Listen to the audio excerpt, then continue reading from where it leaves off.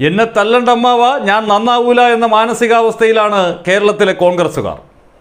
അതുകൊണ്ട് തന്നെ Thiruvanchoor രാധാകൃഷ്ണനും Kottayam D C C president Nattakam സുരേഷും മന്ത്രി വീണ ജോർജിനെ അധിക്ഷേപിച്ചതിനെ കേരളം വലിയ കാര്യത്തിൽ കാണുന്നില്ല. എത്ര ശ്രമിച്ചാലും നന്നാകാൻ കഴിയാത്ത വിധം അധപ്പതിച്ചു പോയിരിക്കുന്നു കേരളത്തിലെ കോൺഗ്രസ്. എത്ര ശ്രമിച്ചാലും കയറി വരാൻ കഴിയാത്ത വിധം പടുകുഴിയിലായിരിക്കുന്നു ആ പ്രസ്ഥാനം കേരളത്തിൽ. അതിന്റെ അടയാളപ്പെടുത്തലുകളാണ് ഇതൊക്കെ. അല്ലെങ്കിൽ പിന്നെ രണ്ട് ദിവസം മുമ്പ് വയനാട്ടിൽ വലിയ ലീഡേഴ്സ് മീറ്റൊക്കെ വിളിച്ചുകൂട്ടി പാർട്ടിയെ എങ്ങനെയാണ് കരകയറ്റി എടുക്കേണ്ടത് എന്നുള്ളതൊക്കെ ചർച്ച ചെയ്തിട്ട് ഇങ്ങോട്ട് വന്ന് ആദ്യത്തെ പരിപാടിയിൽ തന്നെ മൈക്ക് കണ്ടപ്പോൾ മുന്നിൽ കുറേ മണ്ടന്മാരായ അണികളിരിക്കുന്നത് കണ്ടപ്പോൾ ഹാലിളകി.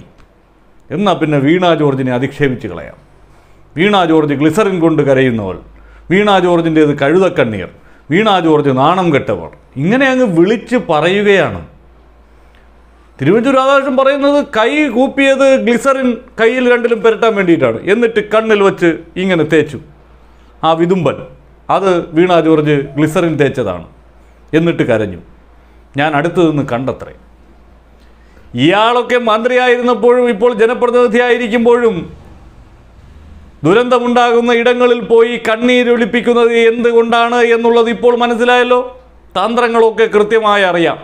അതുപോലെയാണ് നാട്ടിലുള്ള മറ്റ് പൊതുപ്രവർത്തകരും എന്ന് ധരിച്ച് വശായിരിക്കുന്നത് തിരുവഞ്ചൂർ രാധാകൃഷ്ണന്റെ കുഴപ്പം കൊണ്ടല്ല. തിരുവഞ്ചൂർ രാധാകൃഷ്ണൻ പ്രതിനിധാനം ചെയ്യുന്ന രാഷ്ട്രീയം ഇപ്പോൾ കേരളത്തിൽ എത്തി നിൽക്കുന്ന ഗതികേട് കൊണ്ടാണ്.